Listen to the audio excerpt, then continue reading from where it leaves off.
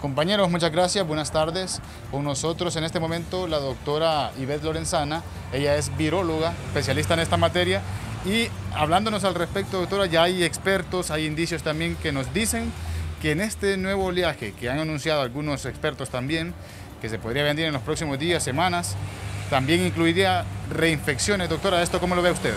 Bueno, a nivel mundial ya se han documentado las reinfecciones y la única manera de documentar una reinfección es poder hacer un PCR en el momento anterior, digamos tres meses atrás, que tuviera un resultado PCR y digamos que tres, cuatro meses después vuelva a tener otra PCR positiva e incluso no es solo eso es suficiente, hay que hacer un análisis de la secuencia genómica del virus, o sea, una huella genética del virus y ponerlas a la par y de una manera que se demuestre que son cepas diferentes, que no se trata exactamente del mismo virus. Solo así podemos decir a ciencia cierta que es reinfección. Sin embargo, hay países que ya lo han hecho y lo han documentado y lo han publicado. Aquí en Honduras todavía no hay evidencia científica concluyente, pero no podemos decir que va a ser la excepción.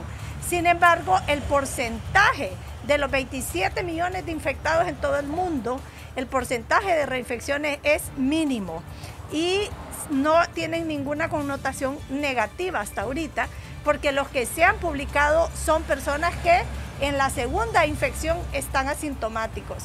Y este es un comportamiento muy clásico de los coronavirus.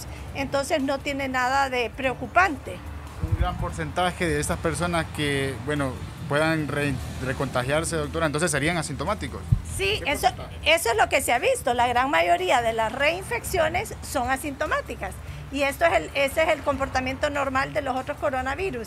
No tendría ningún problema, lo único que quiere decir es que esta gente de alguna manera tiene inmunidad y en una segunda infección se defienden de esa, no les da enfermedad.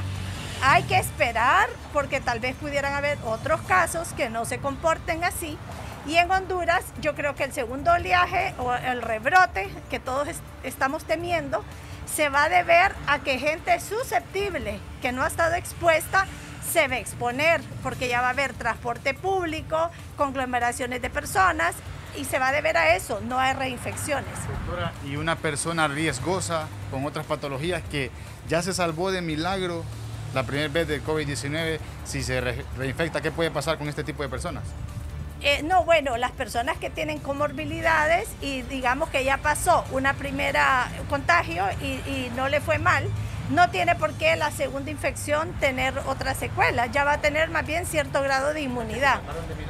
Las que se salvaron de milagro, pues eh, se tiene una idea, mientras más agresivo fue el virus en una persona, más fuerte va a ser la respuesta inmune que él va a haber montado para poder eliminar el virus entonces tendrá unas defensas más fuertes contra una reinfección. Doctora, ¿qué porcentaje de estas reinfecciones podrían ser asintomáticas o no, presentar alguna gravedad, como usted nos está detallando en este momento?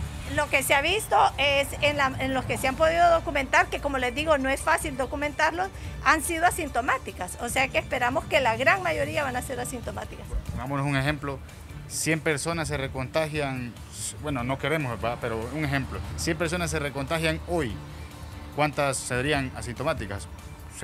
algo tentativo. Tentativo yo diría que el 99.5%. Bueno, ya escuchamos, compañeros, a la doctora Ivette Lorenzana detallándonos contundentemente esta mención. También ella, sin embargo, llama a la población a tener prudencia y a los expertos a esperar una verdadera prueba científica al respecto de esto de la del recontagio que se ha venido mencionando en los últimos días. Compañeros, con ustedes de nuevo. Y las escuelas privadas serán beneficiadas con eh, millonaria condonación.